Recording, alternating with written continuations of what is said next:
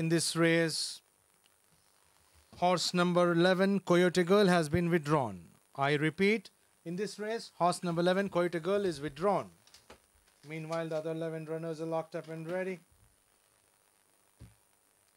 And they are off and racing for the Varanasi plate.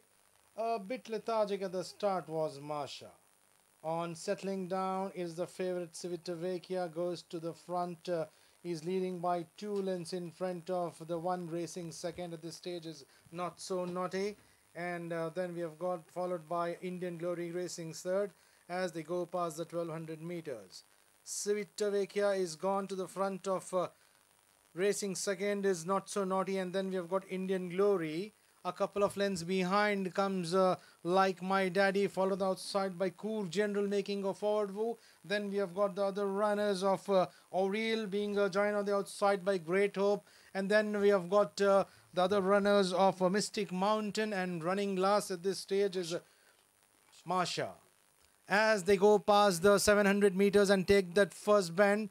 It is Civitavecchia who's calling the tunes close to about two in front of Indian Glory racing second. A length behind Indian Glory is Aurelius moved to run up third at the stage being joined on the outside by Cool General and then uh, we have got the other runners of D Durga followed by Mystic Mountain also making a forward move racing inside the final 350 it is Aurele on the outside is gone to the front of uh, Civitavecchia, Civitavecchia and Great Hope is the one which is coming with a good turn of foot on the outside.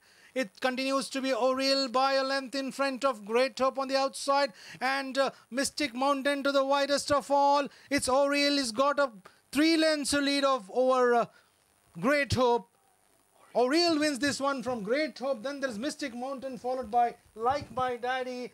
Cool General D. Durga, Civitavecchia, Indian Glory, Not So Naughty. Then we have got again